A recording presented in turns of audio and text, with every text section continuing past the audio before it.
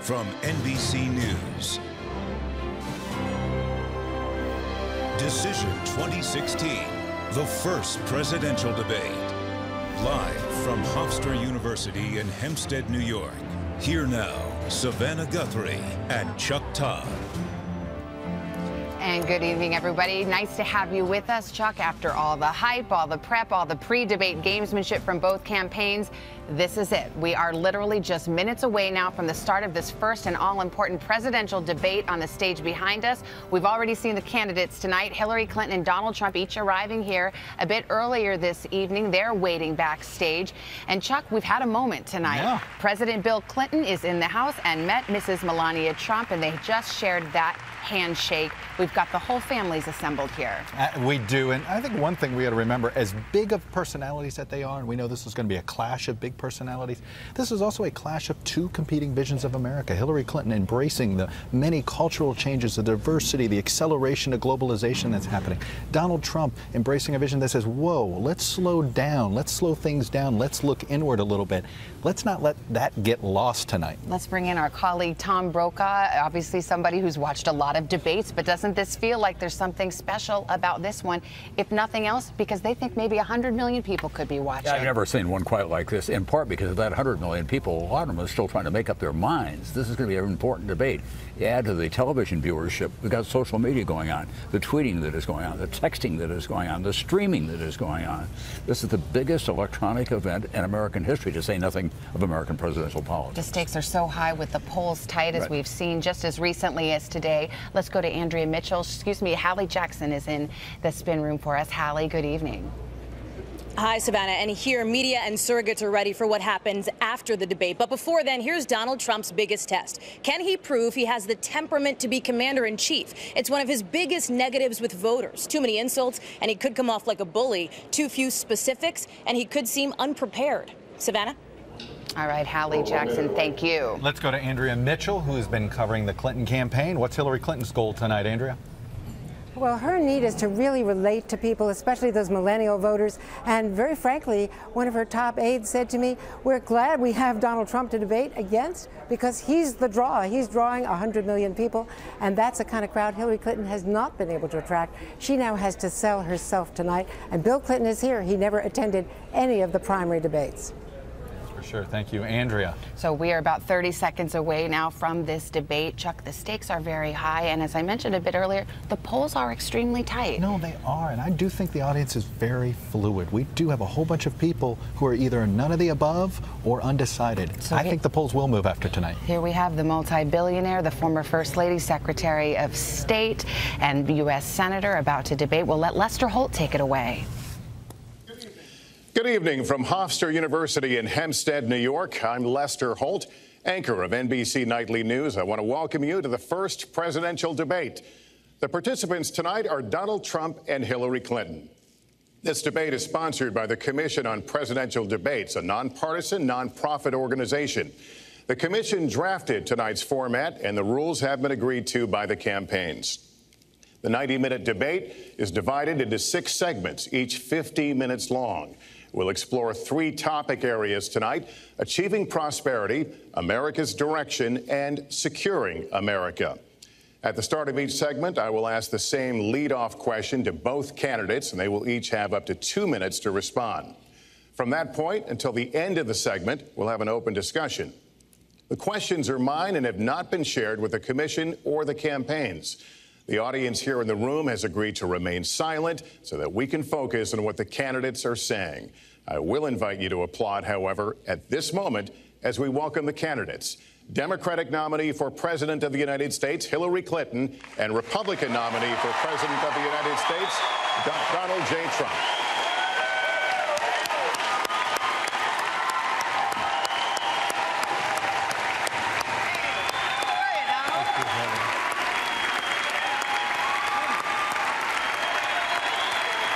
Secretary, good luck to you. Mr. Trump, good luck to you.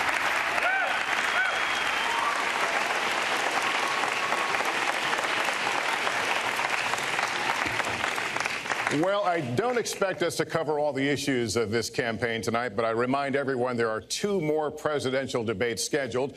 We are going to focus on many of the issues that voters tell us are most important, and we're going to press for specifics. I am honored to have this role, but this evening belongs to the candidates and just as important to the American people. Candidates, we look forward to hearing you articulate your policies and your positions, as well as your visions and your values. So, let's begin.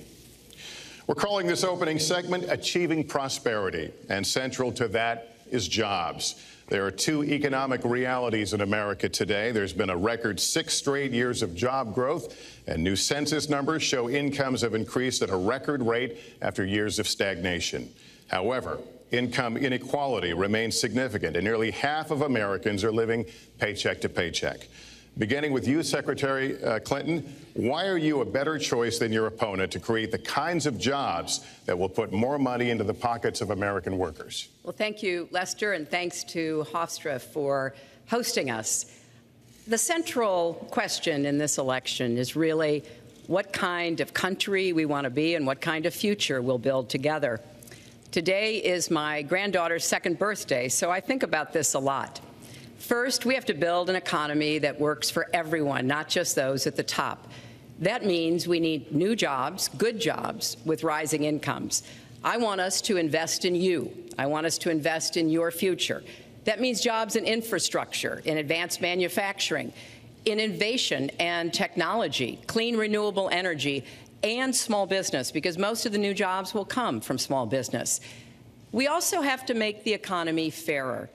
That starts with raising the national minimum wage and also guarantee, finally, equal pay for women's work. I also want to see more companies do profit sharing. If you help create the profits, you should be able to share in them, not just the executives at the top. And I want us to do more to support people who are struggling to balance family and work. I've heard from so many of you about the difficult choices you face and the stresses that you're under. So let's have paid family leave, earned sick days. Let's be sure we have affordable child care and debt free college. How are we going to do it? We're going to do it by having the wealthy pay their fair share and close the corporate loopholes. Finally, we tonight are on the stage together, Donald Trump and I. Uh, Donald, it's good to be with you. We're going to have a debate where we are talking about the important issues facing our country. You have to judge us. Who can shoulder the immense, awesome responsibilities of the presidency? Who can put into action the plans that will make your life better? I hope that I will be able to earn your vote on November 8th. Secretary Clinton, thank you. Mr. Trump, the same question to you. It's about putting money, more money, into the pockets of American workers. You have up to two minutes. Thank you, Lester. Uh, our jobs are fleeing the country. They're going to Mexico. They're going to many other countries. You look at what China is doing to our country in terms of making our product. They're devaluing their currency, and there's nobody in our government to fight them. And we have a very good fight, and we have a winning fight because they're using our country as a piggy bank to rebuild China. And many other countries are doing the same thing. So we're losing our good jobs, so many of them. When you look at what's happening in Mexico, a friend of mine who builds plants said it's the eighth wonder of the world. They're building some of the biggest plants anywhere in the world, some of the most sophisticated, some of the best plants.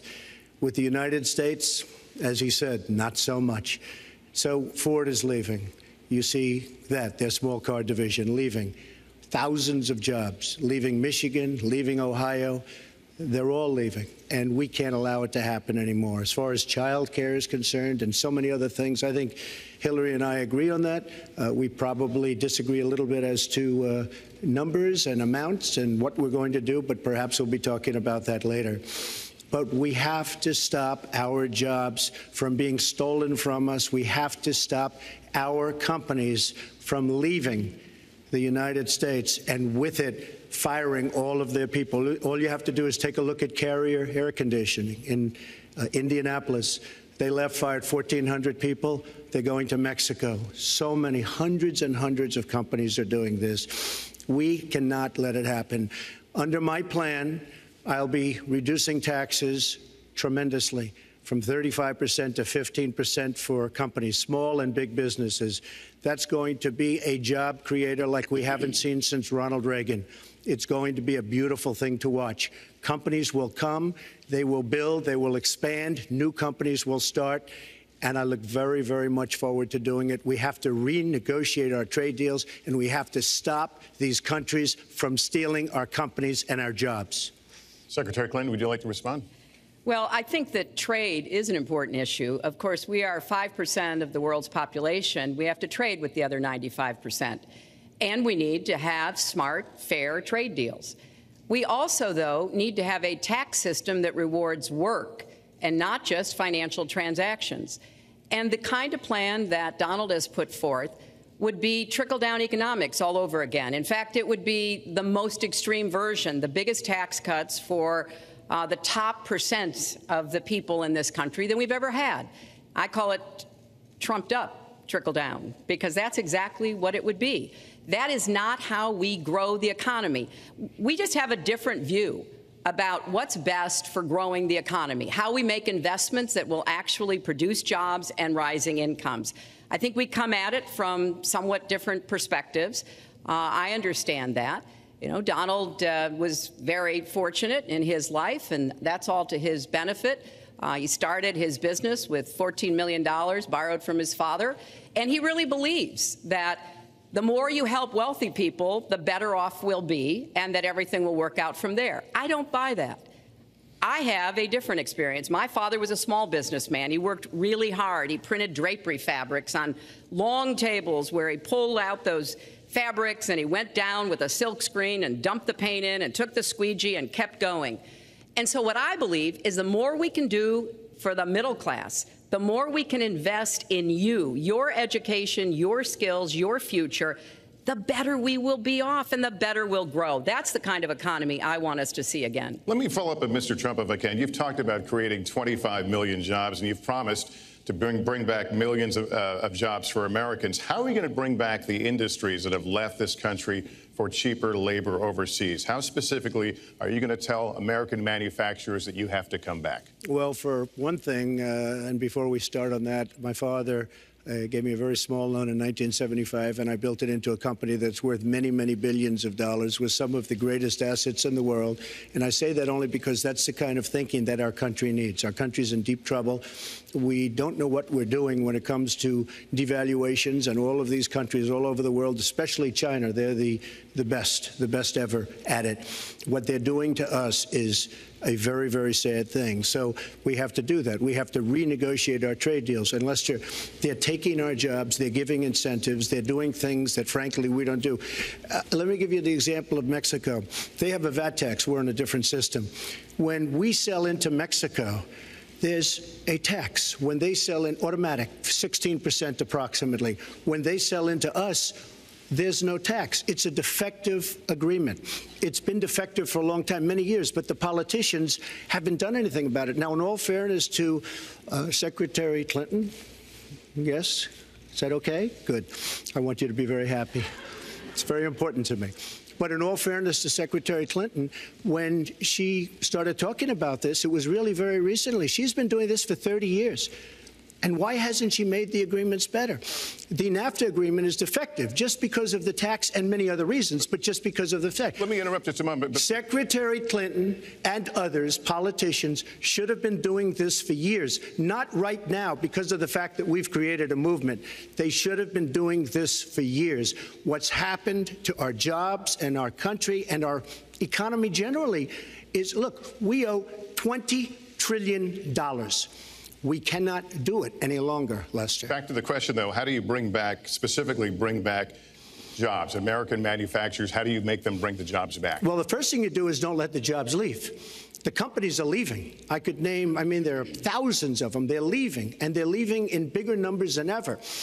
And what you do is you say, fine, you want to go to Mexico or some other country, good luck. We wish you a lot of luck. But if you think you're going to make your air conditioners or your cars or your cookies or whatever you make, and bring them into our country without a tax, you're wrong. And once you say you're going to have to tax them coming in, and our politicians never do this because they have special interests, and the special interests want those companies to leave because in many cases they own the companies.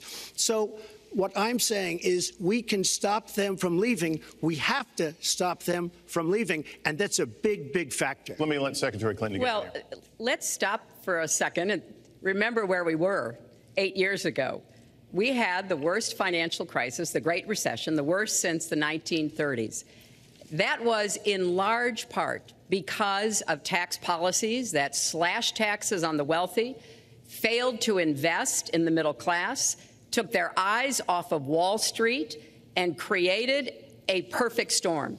In fact, Donald was one of the people who rooted for the housing crisis. He said back in 2006, gee, I, I hope it does collapse because then I can go in and buy some and make some money. Well, it did collapse. That's called nine, business, by the way. Nine million people, nine million people lost their jobs, five million people lost their homes, and $13 trillion in family wealth was wiped out. Now, we have come back from that abyss, and it has not been easy. So we're now on the precipice of having a potentially much better economy. But the last thing we need to do is to go back to the policies that failed us in the first place. Independent experts have looked at what I've proposed and looked at what Donald's proposed, and basically they've said this that if his tax plan, which would blow up the debt by over $5 trillion and would in some instances disadvantaged middle class families compared to the wealthy were to go into effect, we would lose three and a half million jobs and maybe have another recession. They've looked at my plans and they've said, okay, if we can do this, and I intend to get it done, we will have 10 million more new jobs because we will be making investments where we can grow the economy. Take clean energy. Some country is going to be the clean energy superpower of the 21st century. Donald thinks that climate change is a hoax perpetrated by the Chinese. I think it's real. I, I did I not. Science I is real. I do not say that. And I think it's I do important that. that we grip this and deal with it both at home and abroad. And here's what we can do. We can deploy a half a billion more solar panels. We can have enough clean energy to power every home. We can build a new modern electric grid. That's a lot of jobs. That's a lot of new economic activity. So I've tried to be very specific about what we can and should do, and I am determined that we're going to get the economy really moving again, building on the progress we've made over the last eight years, but never going back to what got us in trouble in the first place. Mr. Trump. She talks about solar panels. Uh, we invested in a solar company, our country. That was a disaster. They lost plenty of money on that one. Now, look, I'm a great believer in all forms of energy, but we're putting a lot of people out of work. Our energy policies are a disaster. Our country is losing so much in terms of energy, in terms of paying off our debt. You can't do what you're looking to do with 20 trillion in debt. The Obama administration, from the time they've come in, is over 230 years worth of debt, and he's topped it. He's doubled it in a course of almost eight years, seven and a half years to be semi exact. So I will tell you this uh, we have to do a much better job at keeping our jobs. And we have to do a much better job at giving companies incentive to build new companies or to expand because they're not doing it. And all you have to do is look at Michigan and look at Ohio and look at all of these places where so many of their of their jobs and their companies are just leaving. They're gone. And Hillary, I just ask you this. You've been doing this for 30 years. Why are you just thinking about these solutions right now? For 30 years you've been doing it, and now you're just starting to think of solutions. Well, actually, I will bring, excuse me, I will bring back jobs. You can't bring back jobs. Well, actually, um, I have thought about this quite a bit. Yeah, for 30 and years. I have, uh, well, not quite that long. Uh, I think my husband did a pretty good job in the 1990s. I think a lot about what worked and how we can make it work again. Well, he approved million NAFTA. new He jobs, approved a NAFTA, balanced budget, which is the single worst trade deal ever approved in this country. Incomes went up for everybody. Manufacturing jobs went up also in the 1990s. If we're actually going to look at the facts, when I was in the Senate, I had a number of trade deals that came before me, and I held them all to the same test. Will they create jobs in America? Will they raise incomes in America? And are they good for our national security? Some of them I voted for. The biggest one, a multinational one known as CAFTA, I voted against. and because I hold the same standards as I look at all of these trade deals. But let's not assume that trade is the only challenge we have in the economy. I think it is a part of it, and I've said what I'm going to do. I'm going to have a special prosecutor. We're going to enforce the trade deals we have, and we're going to hold people accountable. When I was Secretary of State, we actually increased American exports globally 30 percent. We increased them to China 50%. So I know how to really work to get new jobs and to get exports that help to create more new jobs. well, you haven't done it in 30 years or 26 years. Well, any number you I, have been do. a senator. You Donald, haven't done it. And you haven't I done have it. been a And secretary me, of state, and I have Your done husband signed. NAFTA, which was one of the worst things that ever happened Well, to the that's your manufacturing opinion. That industry. is your You go to. New England, you go to Ohio, Pennsylvania, you go anywhere you want, Secretary Clinton, and you will see devastation where manufacturing is down 30, 40, sometimes 50 percent. NAFTA is the worst trade deal maybe ever signed anywhere, but certainly ever signed in this country. And now you want to approve Trans-Pacific Partnership. You were totally in favor of it. Then you heard what I was saying, how bad it is, and you said, I can't win that debate. But you know that if you did win, you would approve that, and that will be almost as bad as NAFTA. Nothing will ever Well, top NAFTA. That that is just not accurate. I uh,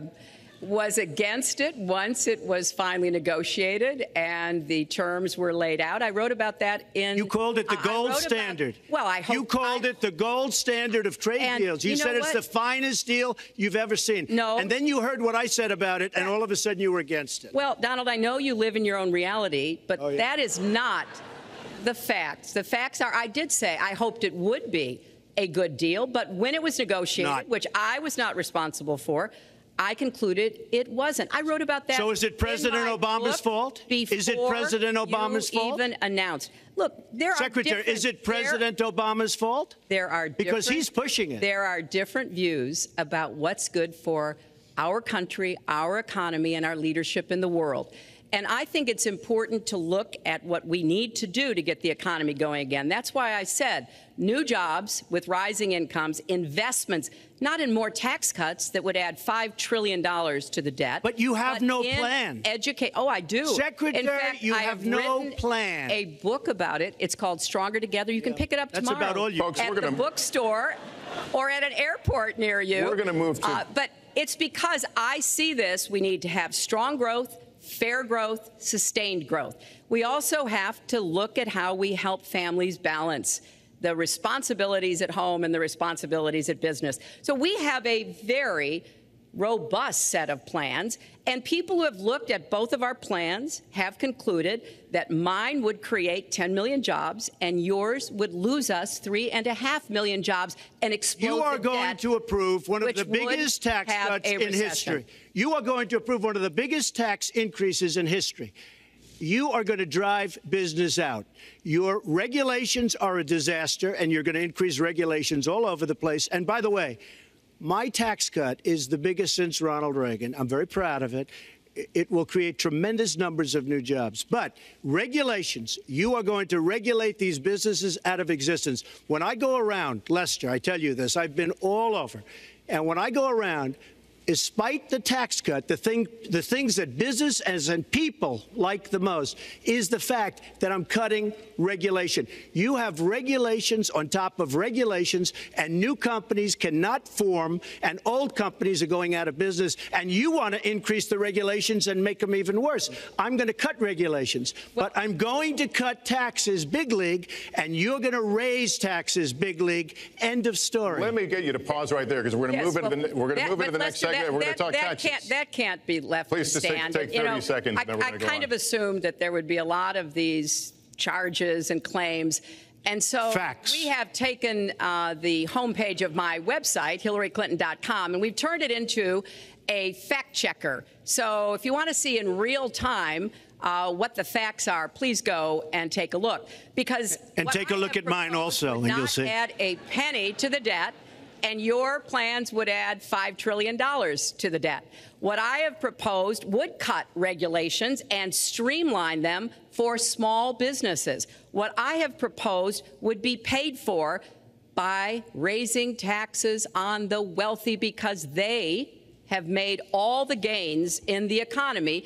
And I think it's time that the wealthy and corporations paid their fair share to support this. Well, country. you just opened the next segment. Well, look, could I just actually, finish? I actually, think need I, to- I we think need- I should. you're- I'm going to you give you go a to her chance right here. website With and you take a look at her website. She's going to raise taxes 1.3 trillion dollars. Mr. Trump, I'm- and look at her website.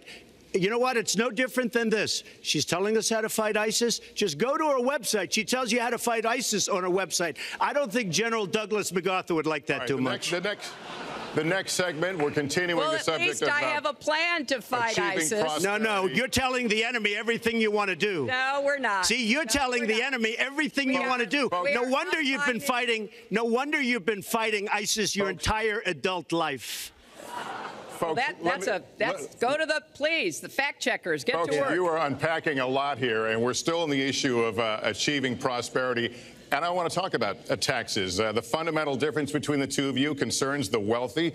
Secretary Clinton, you're calling for a tax increase in the wealthiest Americans. I'd like you to further defend that. And Mr. Trump, you're calling for tax cuts for the wealthy. I'd like you to defend that. And this next two minute answer goes to you, Mr. Trump. Well, I'm really calling for major jobs because the wealthy are going to create tremendous jobs. They're going to expand their companies. They're going to do a tremendous job. I'm getting rid of the carried interest provision. And if you really look, it's not a tax, it's really not a great thing for the wealthy. It's a great thing for the middle class. It's a great thing for companies to expand.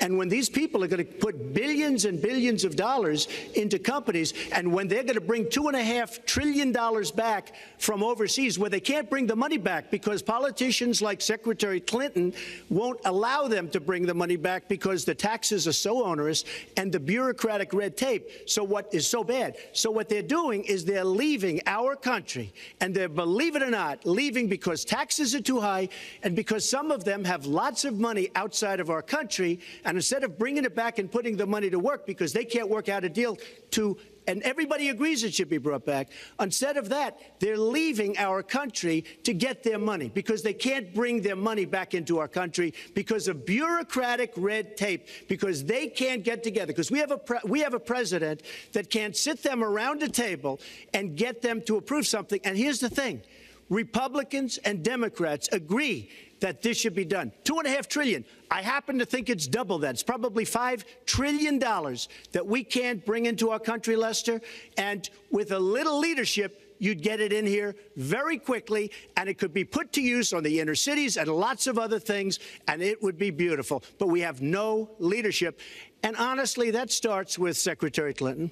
All right, you have two minutes on the same question to defend tax increases on the wealthiest Americans, Secretary Clinton. I, I have a feeling that by the end of this evening, I'm going to be blamed for everything that's ever happened. Why not? Why not? Yeah, why not? Jo- you know, just just just join uh, join the debate by uh, saying more crazy things. Now, let me say hey, this. there's nothing crazy about not letting our companies case. bring their money It- back into their this country. is, this is uh, Secretary Clinton's two minutes, Yes. please. Yeah, well, let's start the clock again, Lester. Um, we've looked at your tax proposals. I don't see changes in the corporate tax rates or the kinds of proposals you're referring to that would cause the repatriation, bringing back of money that's stranded overseas. I happen to Then you didn't support read that. it. I happen to I happen to support that in a way that will actually work to our benefit. But when I look at what you have proposed, you have what is called now the Trump loophole because it would so advantage you and the business you do. You've proposed Who gave it a, an name? approach It's first that ever- who has a it that four name? This is our- this billion Secretary dollar Clinton's tax benefit for your family. And when you look at what How much- you are how much for proposing, my family? it is, Lester, how as I said, trumped up trickle down. Trickle down did not work. It got us into the mess we were in in 2008 and 9.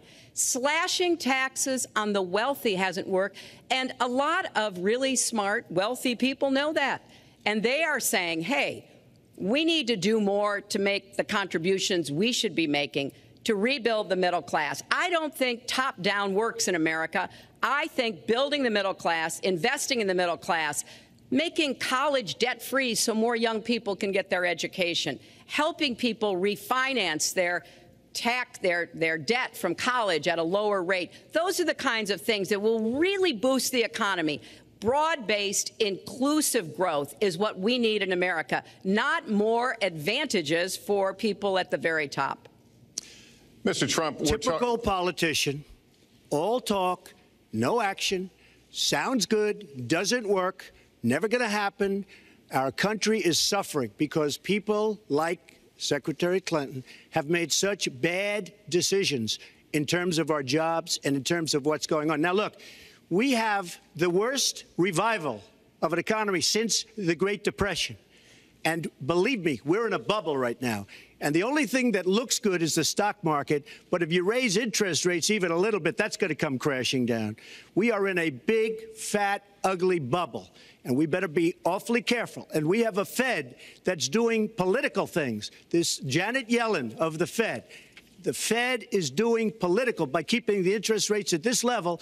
And believe me, the day Obama goes off and he leaves and he goes out to the golf course for the rest of his life to play golf, when they raise interest rates, you're going to see some very bad things happen because the Fed is not doing their job. The Fed is being more political than Secretary Clinton. Mr. Trump, we're talking about the burden that Americans have to pay, yet you have not released your tax returns. And, and the reason nominees have, have released their returns for decades is that voters will know if their potential president owes money to, who he know, owes it to, and any business conflicts. Uh, don't Americans have a right to know if there are any conflicts of interest? I don't mind releasing. I'm under a routine audit, and it'll be released. And as soon as the audit's finished, it'll be released. But you will learn more about Donald Trump by going down to the federal elections, where I filed a 104 page, essentially financial statement of sorts, the forms that they have.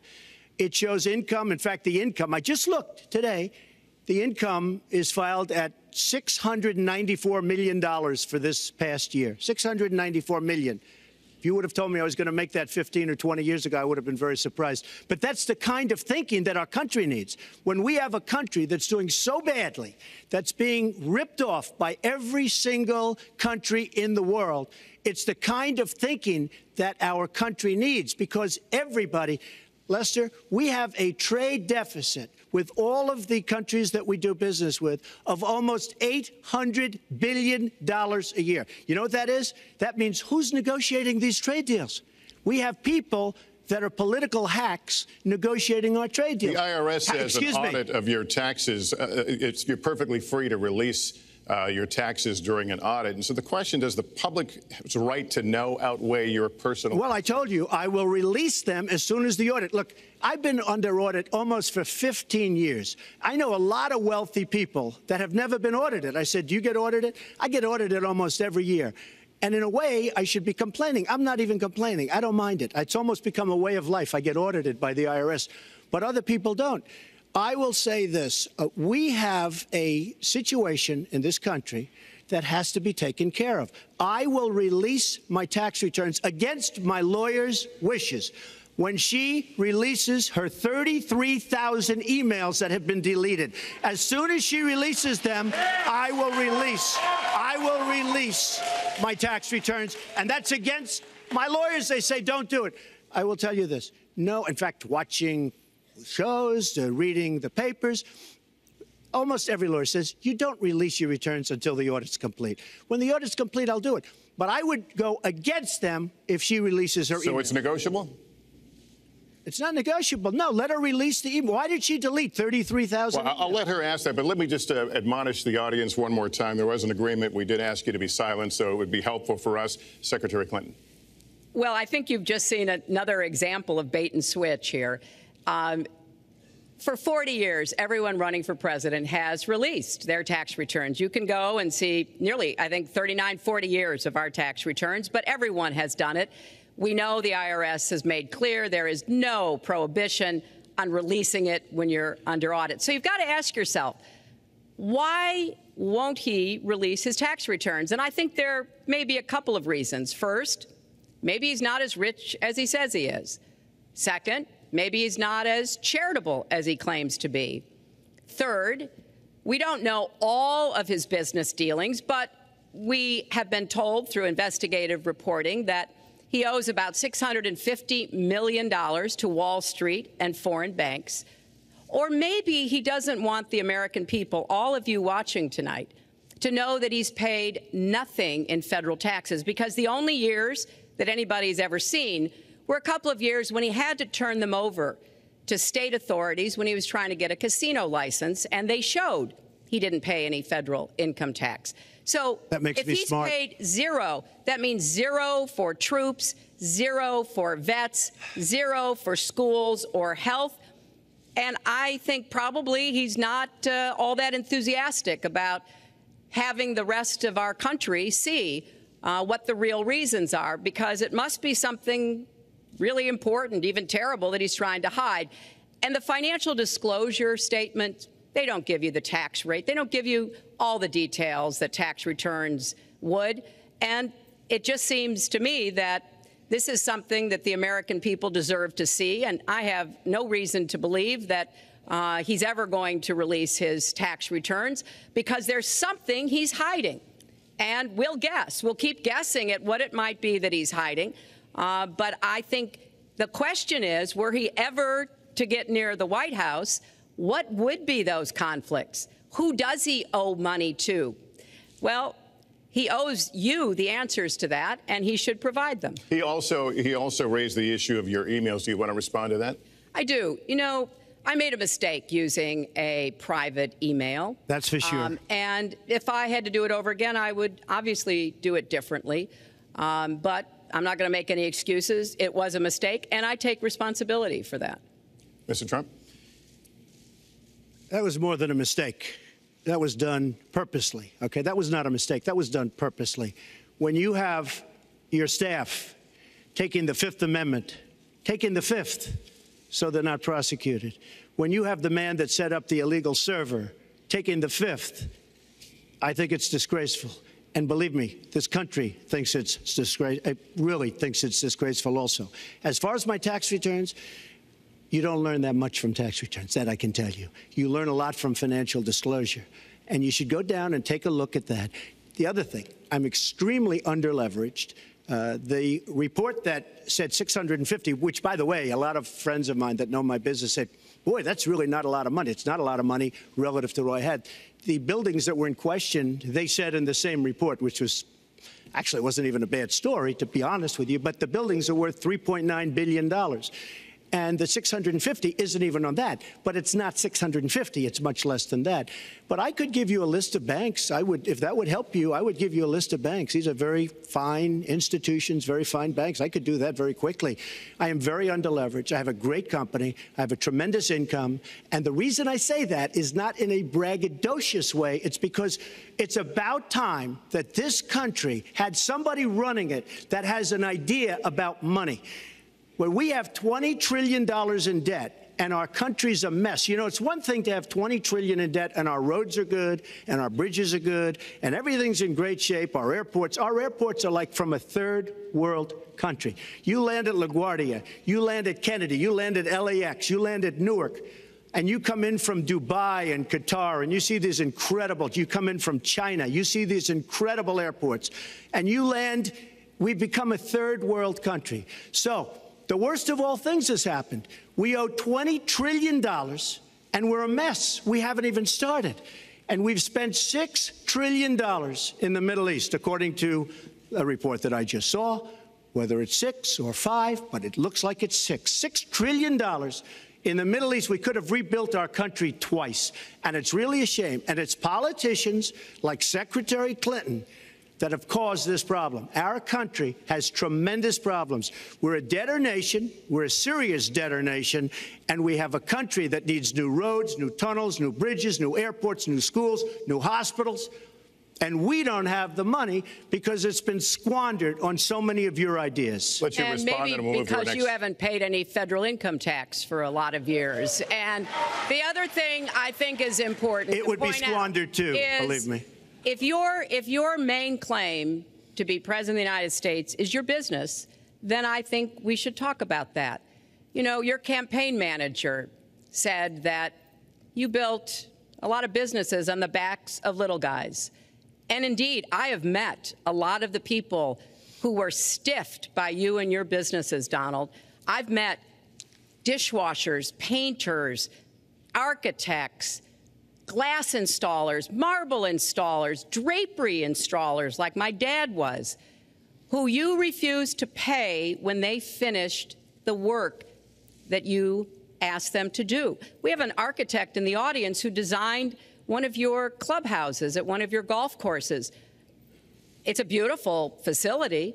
It immediately was put to use, and you wouldn't pay what the man needed to be paid what he was charging you. Maybe he do. didn't do a good job, and I was Well, unsatisfied with his work, which our do country the- should do, the too. thousands of people that you have stiffed over the course of your business not deserve some kind of apology from someone who has taken their labor, taken the goods that they produced, and then refused to pay them. I can only say that I'm certainly relieved that my late father never did business with you. Uh, he provided a good middle class life for us, but the people he worked for, he expected the bargain to be kept on both sides. And when we talk about your business, you've taken business bankruptcy six times. There are a lot of great business people that have never taken bankruptcy once. You call yourself the king of debt. You talk about leverage. You even at one time suggested that you would try to negotiate down the Wrong. national debt of the United States. Well, sometimes there's not a direct transfer of skills from business to government, but sometimes what happened in business would be really bad for government. Let's let Mr. And Trump we need So, oh, yeah, to I think be it's- very I do think clear it's time. about that. Look, it's all words, it's all sound bites. I built an unbelievable company, some of the greatest assets anywhere in the world, real estate assets anywhere in the world, beyond the United States, in Europe, lots of different places. It's an unbelievable company. But on occasion, four times, we used certain laws that are there. And when Secretary Clinton talks about people that didn't get paid, first of all, they did get paid a lot, but taking advantage of the laws of the nation. Now, if you want to change the laws, you've been there a long time, change the laws. But I take advantage of the laws of the nation because I'm running a company. My obligation right now is to do well for myself, my family, my employees, for my companies. And that's what I do. But what she doesn't say is the tens of thousands of people that are unbelievably happy and that love me. I'll give you an example. We're just opening up on Pennsylvania Avenue, right next to the White House. So if I don't get there one way, I'm going to get to Pennsylvania Avenue another. But we're opening the old post office under budget, ahead of schedule, saved tremendous money. I'm a year ahead of schedule. And that's what this country should be doing. We build roads and they cost two and three and four times what they're supposed to cost. We buy products for our military and they come at costs that are so far above what they were supposed to be because we don't have people that know what they're doing. When we look at the budget, the budget is bad to a large extent because we have people that have no idea as to what to do and how to buy. The Trump International is way under budget and way ahead of schedule, and we should be able to do that for our Well, country. we're well behind schedule, so I want to move to our next segment. Uh, we move into our next segment talking about America's direction, and let's start by talking about race. The share of Americans who say race relations are bad in this country is the highest it's been in decades, much of it amplified by shootings of African Americans by police, as we've seen recently in Charlotte and Tulsa. Race has been a big issue in this campaign, and one of you is going to have to bridge a very wide and bitter gap. So, how do you heal the divide? Secretary Clinton, you get two minutes on this. Well, you're right. Race remains a significant challenge in our country. Unfortunately, race still determines too much, often determines where people live, determines what kind of education in their public schools they can get, and yes, it determines how they're treated in the criminal justice system. We've just seen those two tragic examples in both Tulsa and Charlotte. And we've got to do several things at the same time. We have to restore trust between communities and the police. We have to work to make sure that our police are using the best training, the best techniques, that they're well prepared to use force only when necessary. Everyone should be respected by the law, and everyone should respect the law. Right now, that's not the case in a lot of our neighborhoods. So I have, ever since the first day of my campaign, called for criminal justice reform. I've laid out a platform that I think would begin to remedy some of the problems we have in the criminal justice system. But we also have to recognize, in addition to the challenges that we face with policing, there are so many good, brave police officers who equally want reform. So we have to bring communities together in order to begin working on that as a mutual goal. And we've got to get guns out of the hands of people who should not have them. The gun epidemic is the leading cause of death of young African American men, more than the next nine causes put together. So we have to do two things, as I said. We have to restore trust. We have to work with the police. We have to make sure they respect the communities and the communities respect them. And we have to tackle the plague of gun violence, which is a big contributor to a lot of the problems that we're seeing today. All right, Mr. Trump, you have two minutes. How do you heal the divide? Well, first of all, Secretary Clinton doesn't want to use a couple of words, and that's law and order. And we need law and order. If we don't have it, we're not going to have a country. And when I look at what's going on in Charlotte, a city I love, a city where I have investments, when I look at what's going on throughout various parts of our country, whether it's, I mean, I can just keep naming them all day long. We need law and order in our country. And I just got today uh, the, as you know, the endorsement of the Fraternal Order of Police. We just uh, just came in. Uh, we have endorsements from, I think, almost every police group. Very, I mean, a large percentage of them in the United States. Uh, we have a situation where we have uh, our inner cities, African Americans, Hispanics, are living in hell because it's so dangerous. You walk down the street, you get shot. In Chicago, they've had thousands of shootings, thousands, since January 1st. Thousands of shootings. And I'm saying, where is this? Is this a war torn country? What are we doing? And we have to stop the violence. We have to bring back law and order in a place like Chicago where thousands of people have been killed, thousands over the last number of years. In fact, almost 4,000 have been killed since Barack Obama became president. Over four, almost 4,000 people in Chicago have been killed. We have to bring back law and order. Now, whether or not in a place like Chicago you do stop and frisk, which worked very well, Mayor Giuliani is here, it worked very well in New York. It brought the crime rate way down. But you take the gun away from criminals that shouldn't be having it. We have gangs roaming the street, and in many cases, they're illegally here, illegal immigrants, and they have guns, and they shoot people. And we have to be very strong, and we have to be very vigilant. We have to be, we have to know what we're doing.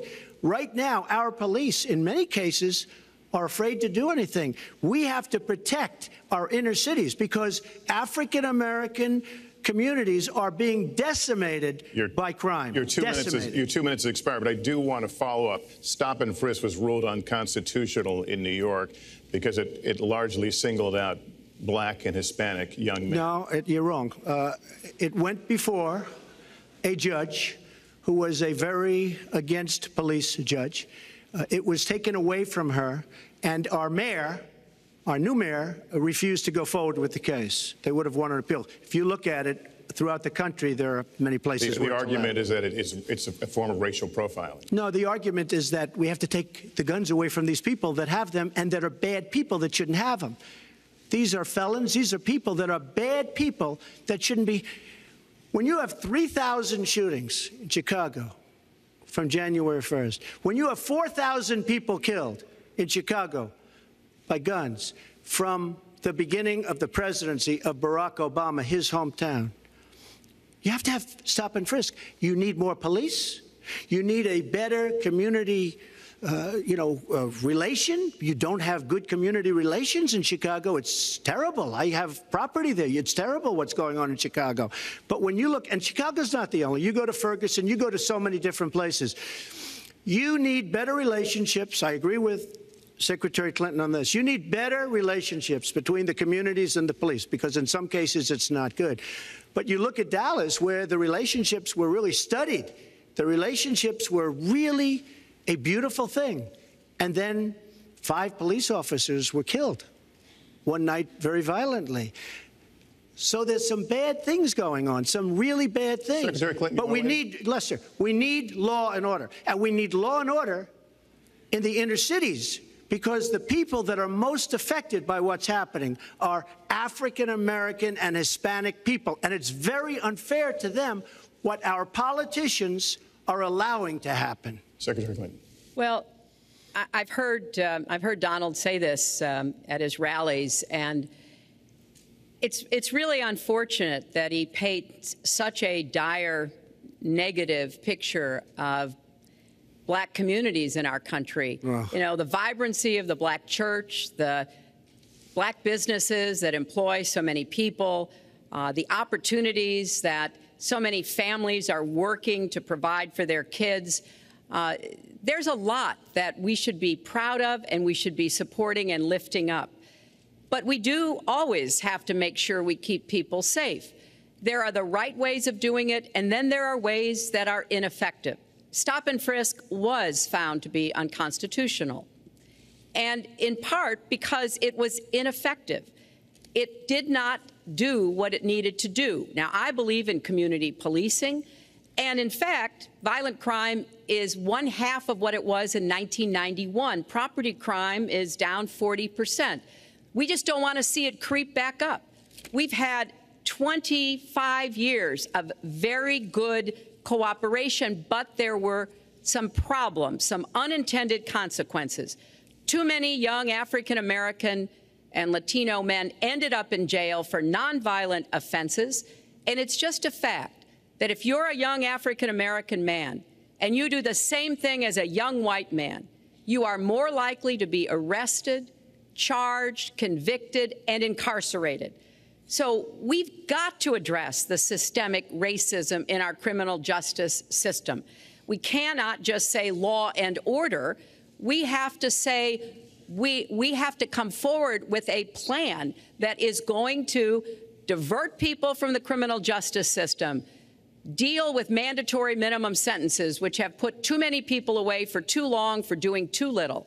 We need to have more second chance programs. I'm glad that we're ending private prisons in the federal system. I want to see them ended in the state system. You shouldn't have a profit motivation to fill prison cells with young Americans. So there are some positive ways we can work on this.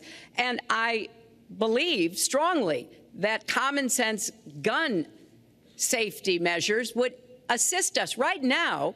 And this is something Donald has supported along with the gun lobby right now We've got too many military style weapons on the streets. In a lot of places, our police are outgunned. We need comprehensive background checks, and we need to keep guns out of the hands of those who will do harm. And we finally need to pass a prohibition on anyone who's on the terrorist watch list from being able to buy a gun in our country. If you're too dangerous to fly, you are too dangerous to buy a gun. So there are things we can do, and we ought to do it in a bipartisan Sec way. Secretary Clinton, last week you said we've got to do everything possible to improve policing to go right at implicit bias. Do you believe that police are implicitly biased against black people? Lester, I think implicit bias is a problem for everyone, not just police. I think, unfortunately, too many of us in our great country um, jump to conclusions about each other. And therefore, I think we need all of us to be asking hard questions about, you know, why am I feeling this way? But when it comes to policing, since it can have literally fatal consequences, I have said in my first budget we would put money into that budget to help us deal with implicit bias by retraining a lot of our police officers. I've met with a group of very distinguished, experienced police chiefs a few weeks ago. They admit it's an issue. They've got a lot of concerns. Mental health is one of the biggest concerns because now police are having to handle a lot of really difficult mental health problems on the street. They want support. They want more training. They want more assistance. And I think the federal government could be in a position where we would uh, offer and provide that. Mr. I'd like to respond. Please. First of all, uh, I agree, and a lot of people, even within my own party, want to give uh, certain rights to people on watch lists and no-fly lists.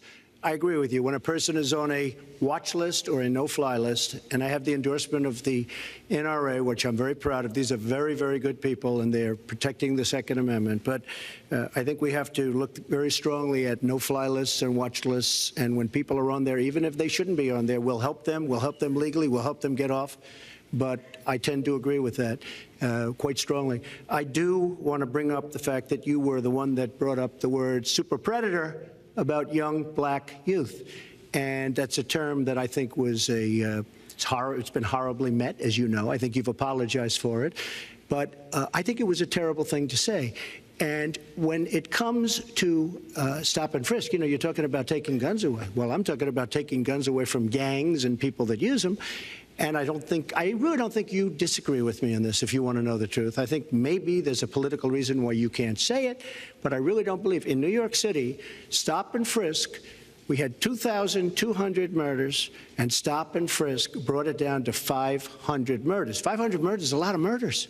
Hard to believe. 500 is like supposed to be good but we went from 2,200 to 500, and it was continued on by Mayor Bloomberg, and it was terminated by current mayor. But stop and frisk had a tremendous impact on the safety of New York City, tremendous beyond belief. So when you say it has no impact, it really did. It had a very, very big impact. Well, it's also fair to say, if we're going to talk about uh, mayors, that under the current mayor, crime has continued to drop, including murders. So there uh, you're is. Wrong. You're wrong. No, I'm murders not. Murders are up. All right, you New York, New York has You'll done an excellent job, and I give credit. I give credit across the board, going back uh, to mayors, to police uh, chiefs, because it has worked, and other communities need to come together to do what will work uh, as well. Look, one murder is too many, but it is True. important that we learn about what has been effective and not go to things that sound good that really did not have the kind of impact that we would want. Who disagrees with keeping neighborhoods safe? But let's also add no one should disagree about respecting the rights of young men who live in those neighborhoods. And so we need to do a better job of working again with the communities, faith communities, business communities, as well as the police to try to deal with this problem. This conversation is about race, and so, Mr. Trump, I have to ask but you. I'd like to five, just respond, if for, I might. For, for, please, oh, 20 I'd seconds. just like to respond. Please respond, then I've got to I will. follow up. Uh, look, the African American community has been let down by our politicians. They talk good around election time, like right now, and after the election, they said, see you later, I'll see you in four years. The African American community, uh, look, the community within the inner cities has been so badly treated.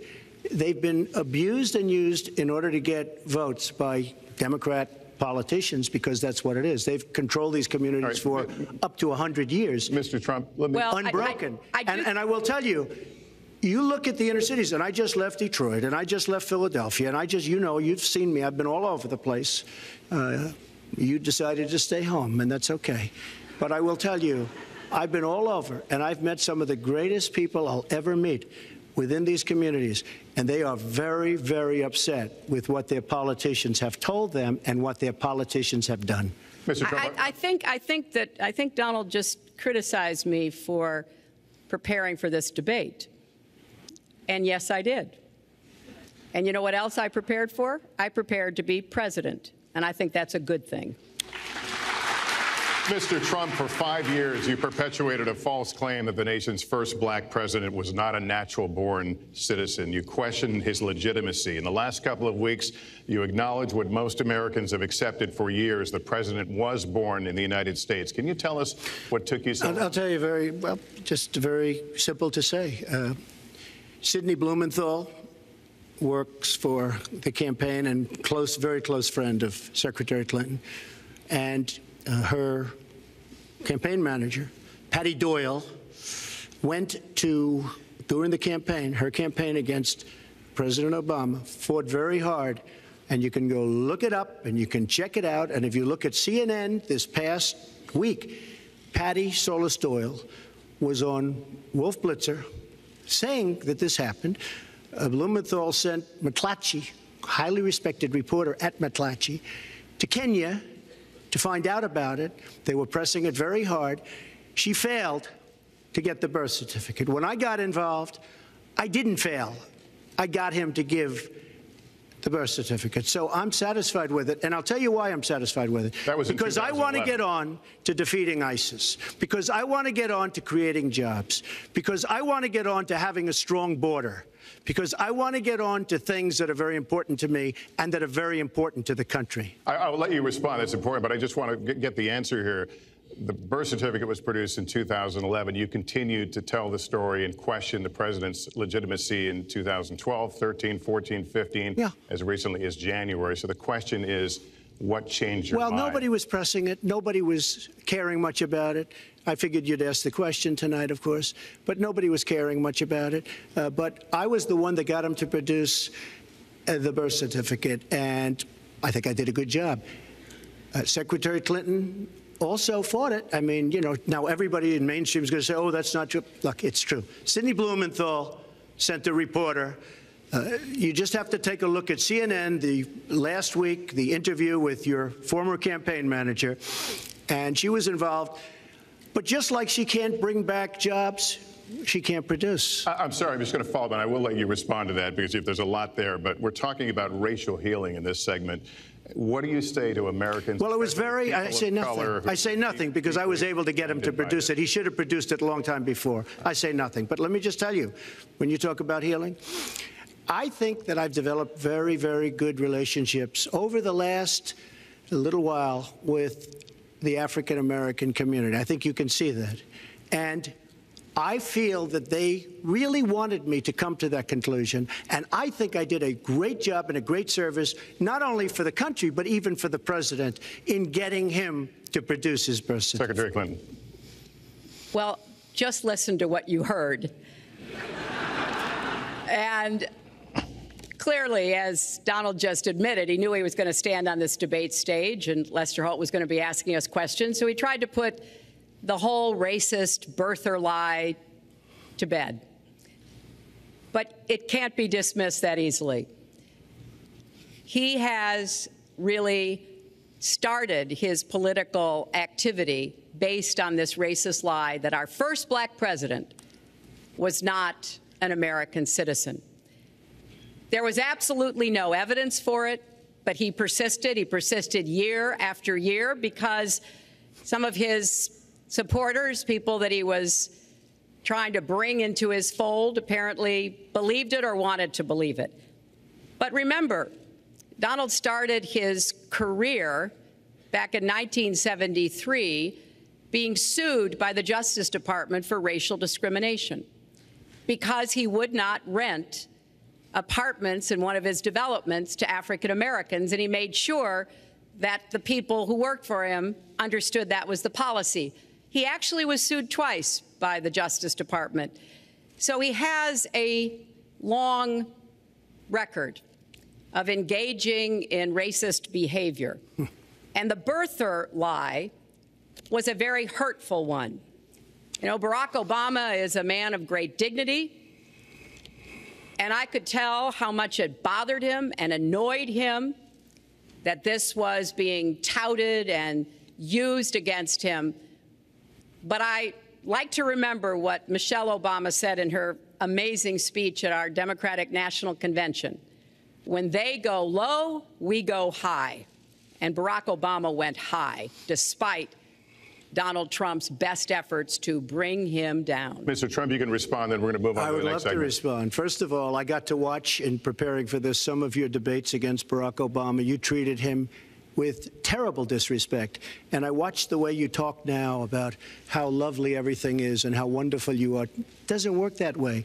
You were after him. You were trying to. You even sent out, or your campaign sent out, pictures of him in a certain garb, very famous pictures. I don't think you can deny that. But just last week, your campaign manager said it was true. So when you try to act holier than thou it really doesn't work. It really doesn't. Now, as far as the lawsuit, yes, when I was very young, I went into my father's company, had a real estate company in Brooklyn and Queens, and we, along with many, many other companies throughout the country, it was a federal lawsuit, were sued. We settled the suit with zero, with no admission of guilt. It was very easy to do, but they sued many people. I notice you bring that up a lot, and uh, you know I also notice the very nasty commercials that you do on me in so many different ways, which I don't do on you. Maybe I'm trying to save the money, but frankly, I look I look at that and I say, isn't that amazing? Because I settled that lawsuit with no admission of guilt. But that was a lawsuit brought against many real estate firms, and it's just one of those things. I'll go on one step further. In Palm Beach, Florida, tough community, a brilliant community, a wealthy community, probably the wealthiest community there is in the world. I opened a club and really got great credit for it. No discrimination against African Americans, against Muslims, against anybody. And it's a tremendously successful club, and I'm so glad I did it. And I have been given great credit for what I did, and I'm very, very proud of it. And that's the way I feel. That is the true way I feel. Our next segment is called Securing America. We want to start with a 21st century war happening every day in this country. Our institutions are under cyber attack and our secrets are being stolen. So, my question is who's behind it and how do we fight it? Secretary Clinton, this answer goes to you. Well, I think cybersecurity cyber warfare will be one of the biggest challenges facing the next president because clearly we're facing at this point uh, two different kinds of adversaries. There are the independent hacking groups that do it mostly for uh, commercial reasons to try to steal information that they then can use to make money. But increasingly, we are seeing cyber attacks coming from states, organs of states. The most recent and troubling of these has been Russia. There's no doubt now that Russia has used cyber attacks against all kinds of organizations in our country, and I am deeply concerned about this. I know Donald's uh, very praise, praiseworthy of uh, Vladimir Putin, but Putin is playing a really tough, long game here. And one of the things he's done is to let loose uh, cyber attackers to hack into government uh, files, to hack into personal files, hack into the Democratic National Committee. And we recently uh, have learned that, you know, that this is one of their uh, preferred methods of trying to wreak havoc and collect information. We need to make it very clear, whether it's Russia, China, Iran, or anybody else, the United States has much greater capacity and we are not going to sit idly by and permit state actors to go after our information, our private sector information or our public sector information. And we're going to have to make it clear that we don't want to use the kinds of tools that we have. We don't want to engage in a different kind of warfare, but we will defend the citizens of this country. And the Russians need to understand that. I think they've been treating it as almost a, a probing. Uh, how far would we go? How much would we do? And that's why I was so, I was so shocked when Donald publicly invited Putin to hack into Americans. That is, that is just unacceptable. It's one of the reasons why 50 national security officials who served in Republican information in, in administration have said that Donald is unfit to be the commander in chief. It's comments like that that really worry people who understand the threats that we face. Mr. Trump, you have two minutes in the same question. Yeah, Who's behind it? how do we I, I do it? want to say that I was just endorsed, and more are coming next week. It'll be over 200 admirals, many of them are here, admirals and generals endorsed me to lead this country. Uh, that just happened, and many more are coming. And I'm very proud of it. Uh, in addition, I was just endorsed by ICE. They've never endorsed anybody before on immigration. Uh, I was just endorsed by ICE. I was just recently endorsed 16,500 Border Patrol agents. So when uh, Secretary Clinton talks about this, I mean, I'll take the admirals and I'll take the generals any day over the political hacks that I see that have led our country so brilliantly over the last 10 years with their knowledge, okay? Because look at the mess that we're in. Look at the mess that we're in. As far as the cyber, I agree to parts of what Secretary Clinton said. Uh, we should be better than anybody else, and perhaps we're not. I don't think anybody knows it was Russia that broke into the DNC. She's saying Russia, Russia, Russia, but I don't. Maybe it was. I mean, it could be Russia, but it could also be China. It could also be lots of other people. It also could be somebody sitting on their bed that weighs 400 pounds. Okay, you don't know who broke in to DNC. But what did we learn with DNC? We learned that Bernie Sanders was taken advantage of by your people by Debbie Wasserman Schultz. Look what happened to her. But Bernie Sanders was taken advantage of. That's what we lose. Now, whether that was Russia, whether that was China, whether it was another country, we don't know. Because the truth is, under President Obama, we've lost control of things that we used to have control over. We came in with the internet, we came up with the internet, and I think Secretary Clinton and myself would agree very much when you look at what ISIS is doing with the internet they're beating us at our own game, ISIS. So we have to get very, very tough on cyber and cyber warfare. Uh, it is a it is a huge problem. I have a son. He's 10 years old. He has computers. He is so good with these computers. It's unbelievable. The security aspect of cyber is very, very tough, and maybe it's it's hardly doable. But I will say we are not doing the job we should be doing. But that's true throughout our whole governmental society. We have so many things that we have to do better, Lester, and certainly cyber is one of them. Secretary Clinton. Well, I think there are a number of issues that uh, we should be addressing. Um, I have put forth a plan to defeat ISIS.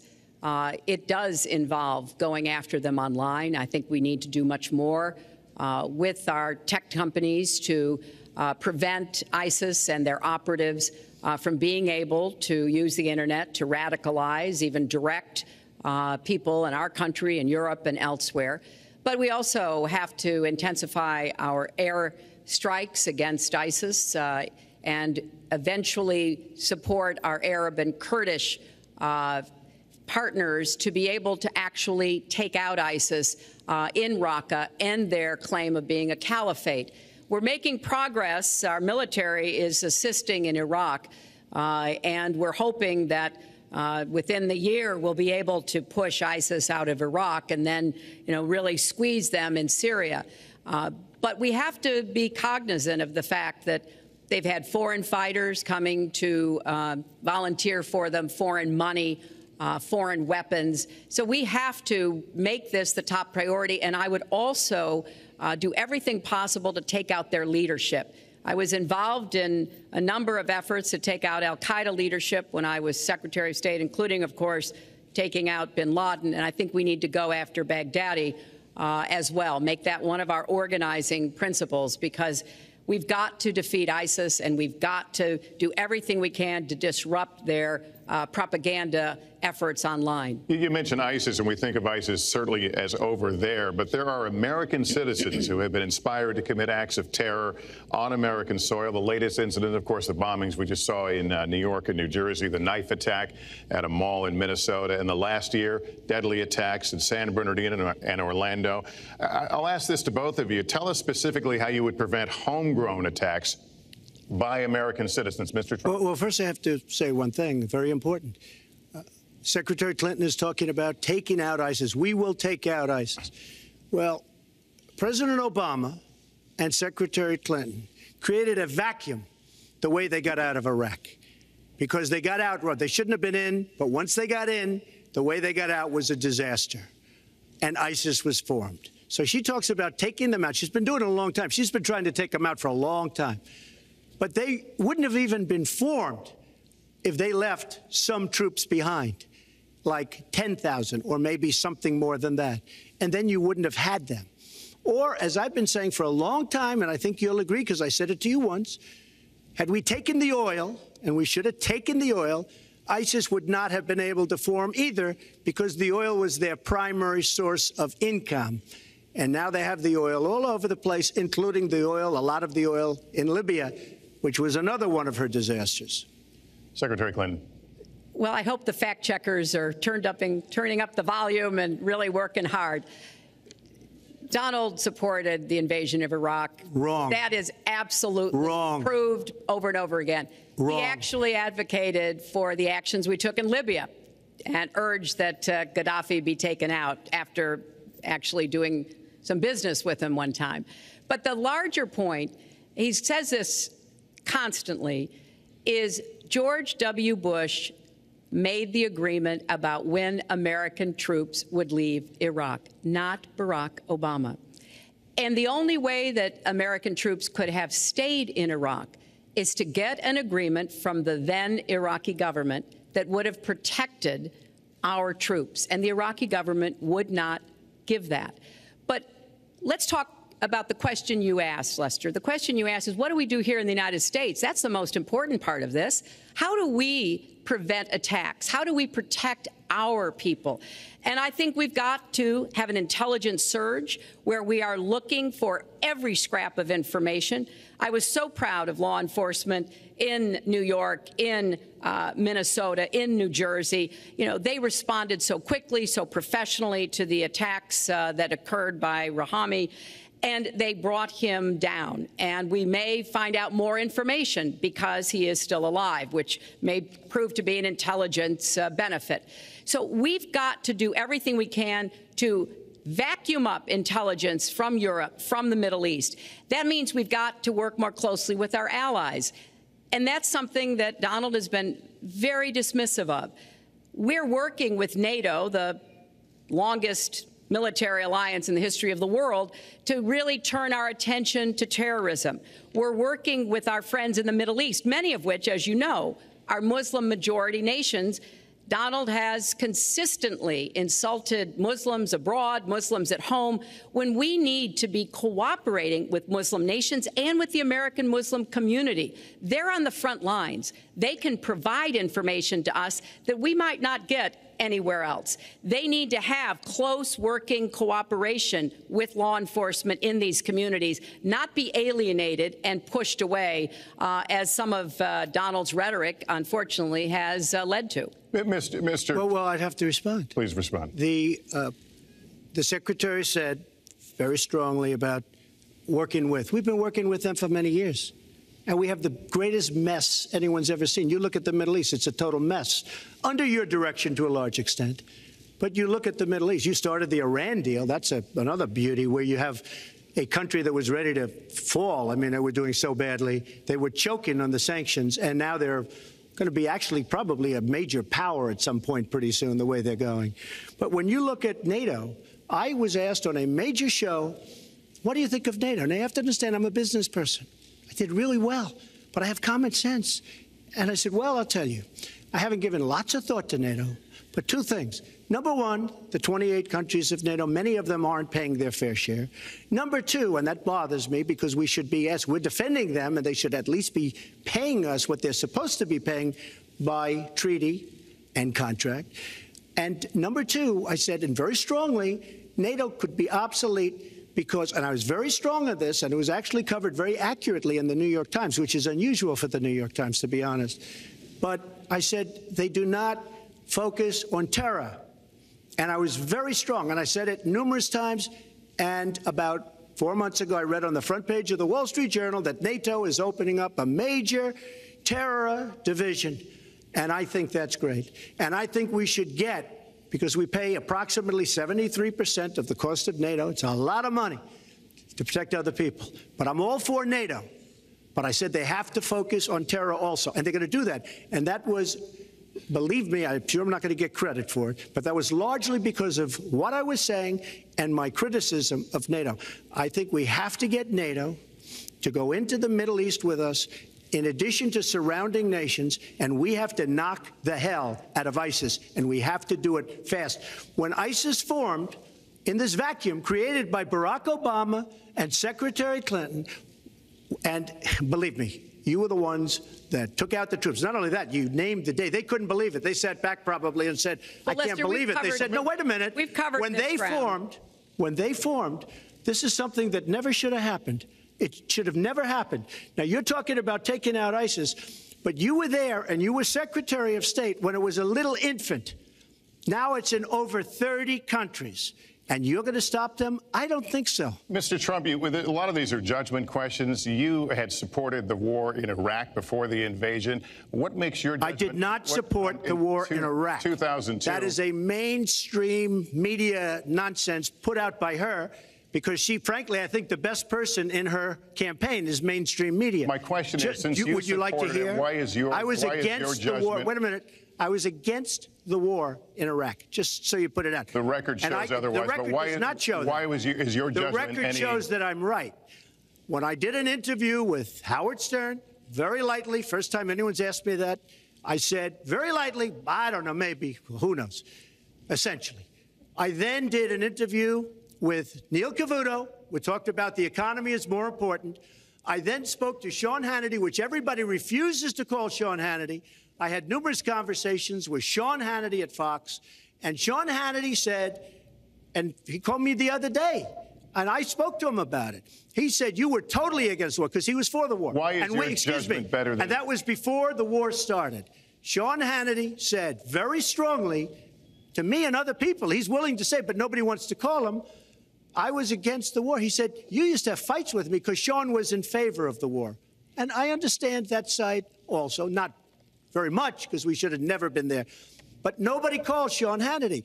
And then they did an article in a major magazine shortly after the war started, I think in 04, but they did an article which had me totally against the war in Iraq.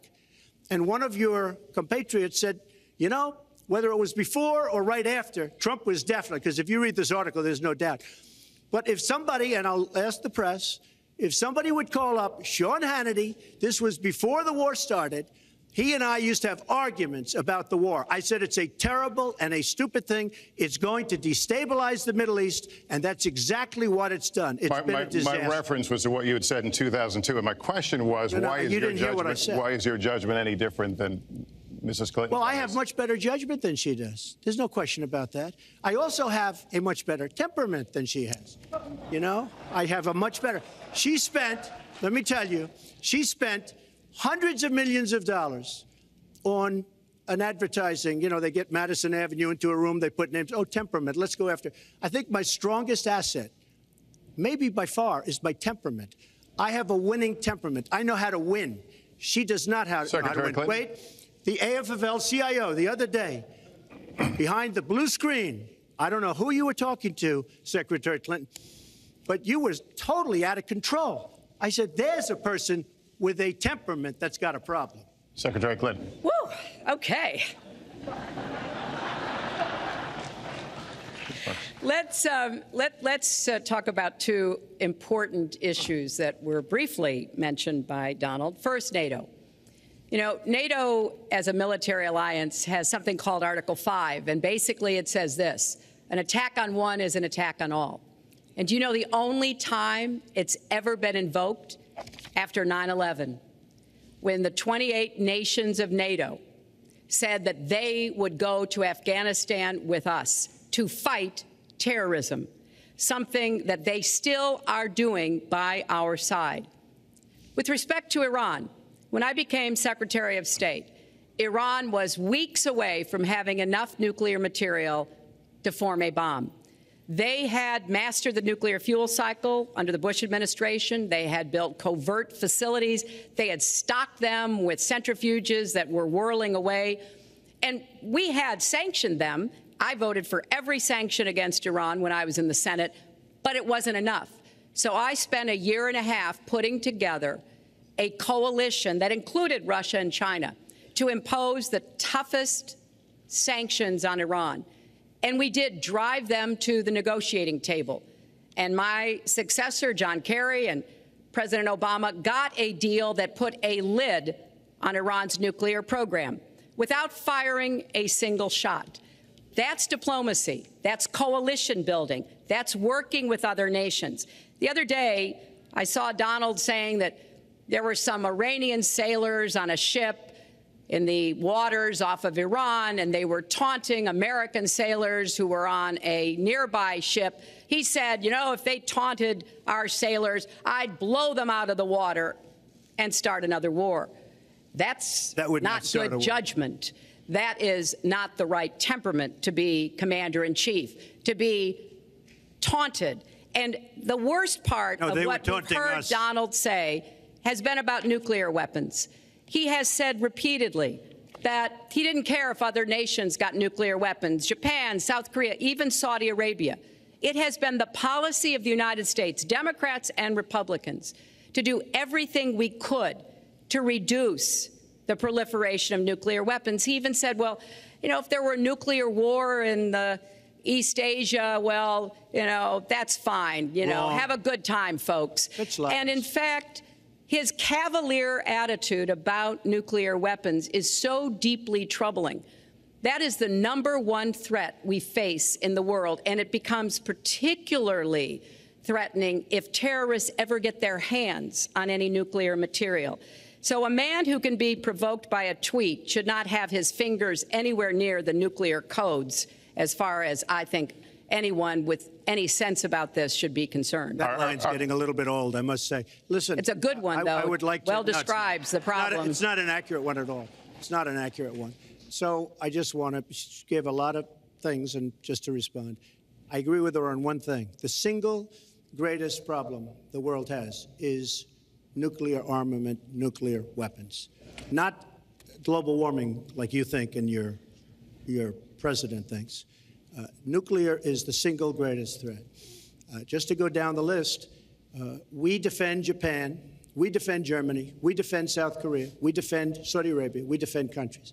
They do not pay us what they should be paying us because we are providing tremendous service and we're losing a fortune. That's why we're losing. We're losing. We lose on everything.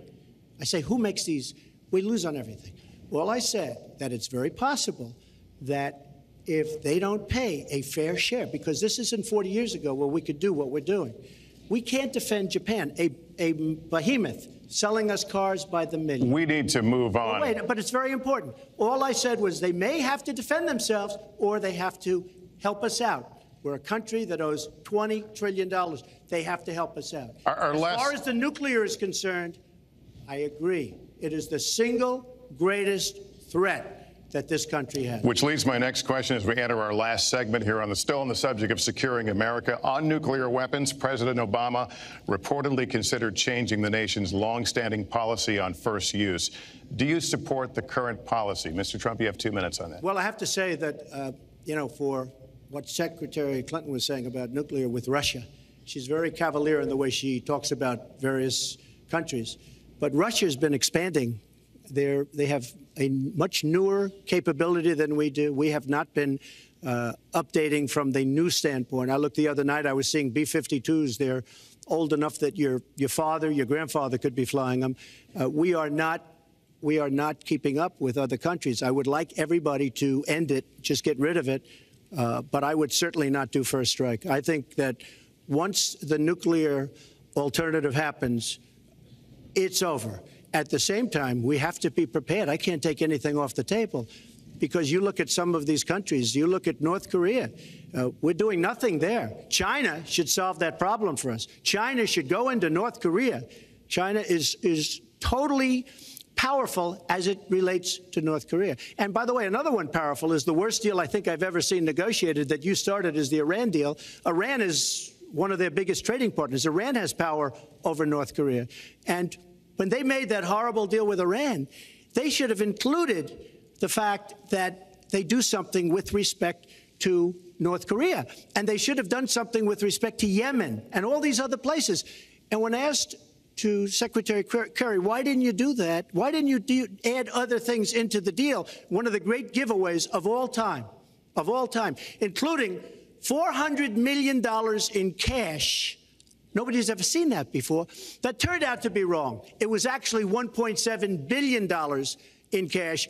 Obviously, I guess for the hostages, it certainly looks that way. So you say to yourself, why didn't they make the right deal. This is one of the worst deals ever made by any country in history. The deal with Iran will lead to nuclear problems. All they have to do is sit back 10 years, and they don't have to do Your- much, your and they're going to end up expiring. getting nuclear. I met with Bibi Netanyahu the other day. Believe me, he is not a happy camper. All right, Mrs. Uh, Well- Clinton, Secretary Clinton, you have two minutes. Let me let me let me start by saying words matter. Words matter when you run for president, and they really matter when you are president. And I want to reassure our allies in Japan and South Korea and elsewhere that we have mutual defense treaties and we will honor them. It is essential that America's word be good. And so I know that this campaign has caused some questioning and some worries on the part of many leaders across the globe. I've talked with a number of them. Uh, but I want to, on behalf of myself and I think on behalf of a majority of the American people, say that, you know, our word is good. It's also important that we look at the entire global situation. There's no doubt that we have other problems with Iran, but personally, I'd rather deal with the other problems having put that lid on their nuclear program than still to be facing that. And Donald never tells you what he would do. Would he have started a war? Would he have bombed Iran? If he's going to criticize a deal that has been very successful in giving us access to Iranian facilities that we never had before, then he should tell us what his alternative would be. But it's like his plan to defeat ISIS. He says it's a secret plan, but the only secret is that he has no plan. So we need to be more precise in how we talk about these issues. People around the world follow our presidential campaigns so closely, trying to get hints about what we will do. Can they rely on us? Are we going to lead the world with strength and in accordance with our values? That's what I intend to do. I intend to be a leader of our country that people can count on, both here at home and around the world. Uh, to make decisions that will further peace and prosperity, but also stand up to bullies, whether they're abroad or at home. We cannot let those who would try to destabilize the world, to interfere with American interests and security, to be given is- any opportunities at all. Is expired. Lester, Mr. one Trump, thing I'd like to say. very quickly. Uh, I will seconds, go very quickly, but I will tell you that Hillary will tell you to go to her website and read all about how to defeat ISIS, which she could have defeated by never having it, you know, get going in the first place. Right now, it's getting tougher and tougher to defeat them because they're in more and more places, more and more states, more and more nations. Mr. Trump. And it's a big problem. And as far as Japan is concerned, I want to help all of our allies. But we are losing billions and billions of dollars. We cannot be the policeman of the world. We cannot protect countries all over the world a- where they're not paying us what we need. We have And just a few final She doesn't questions, say sir. that because she's got no business ability. We need heart. We need a lot of things, but you have to have some basic ability. And sadly, she doesn't have that. All of the things that she's talking about could have been taken care of during the last 10 years, let's say, while she had great power, but they weren't taken care of. And if she ever wins this race, they won't be taken care of. Mr. care Trump, of. this year, Secretary Clinton became the first woman nominated for president by a major party. Earlier this month, you said she doesn't have, quote, a presidential look. She's standing here uh, right now. What did you mean by that? Uh, she doesn't have the look. She doesn't have the stamina. I said she doesn't have the stamina. And I don't believe she does have the stamina. To be president of this country, you need tremendous stamina. The quote was, you "I just have, don't think wait she has wait a a minute, Lester. You asked me a question. Did you ask me a question? You have to be able to negotiate our trade deals. You have to be able to negotiate, that's right, with Japan, with Saudi Arabia. I mean, can you imagine we're defending Saudi Arabia and with all of the money they have, we're defending them and they're not paying? All you have to do is speak to them.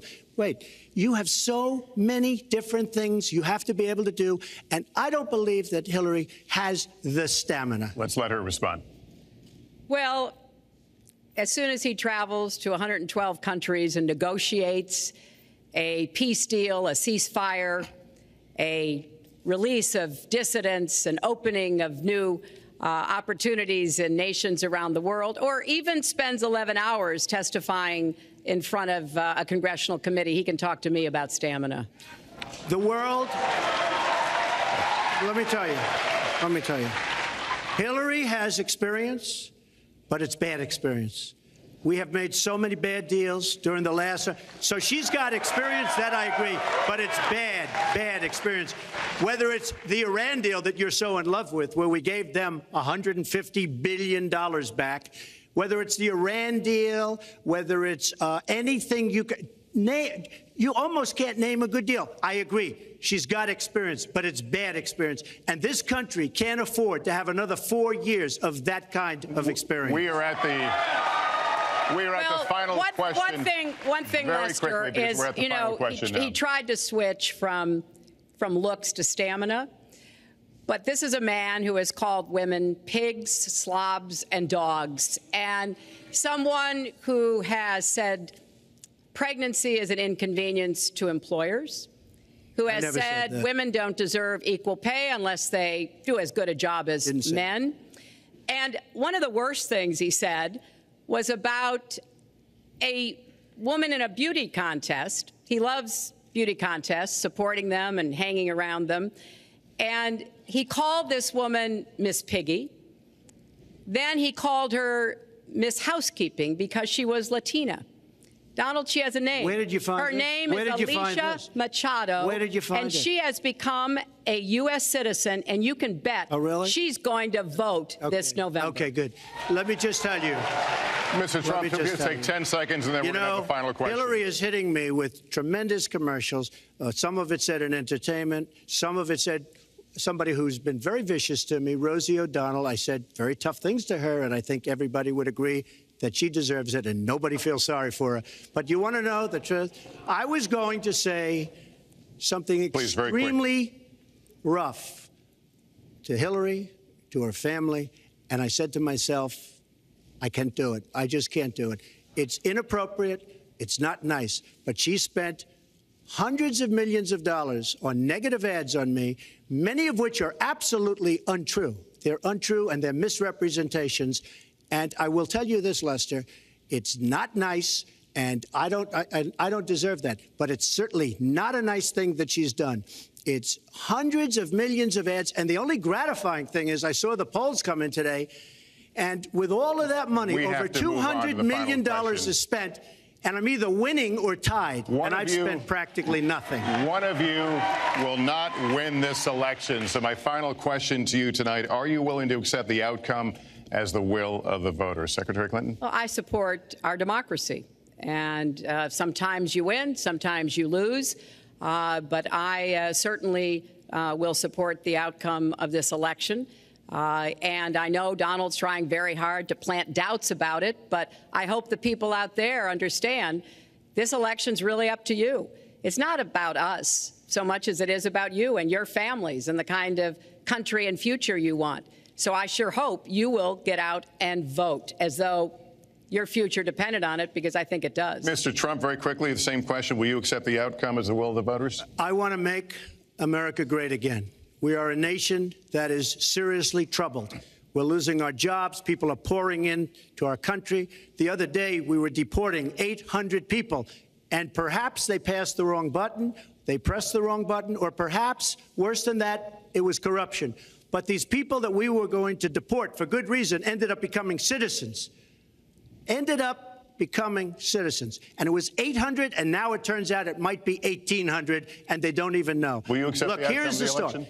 I want to make America great again. I'm going to be able to do it. I don't believe Hillary will. The answer is if she wins, I will absolutely support her. All right. Well, that is going to do it for us. That concludes our debate for this evening. A spirited one. We covered a lot of ground, not everything, as I suspected we wouldn't. Uh, would the uh, next presidential debates are scheduled for October 9th at Washington University in St. Louis and October 19th at the University of Nevada, Las Vegas. The conversation will continue. A reminder: the vice presidential debate is scheduled for October 4th at Longwood University in Farmville, Virginia. My thanks to Hillary Clinton and to Donald Trump and to Hofstra University for hosting us tonight. Good night, everyone.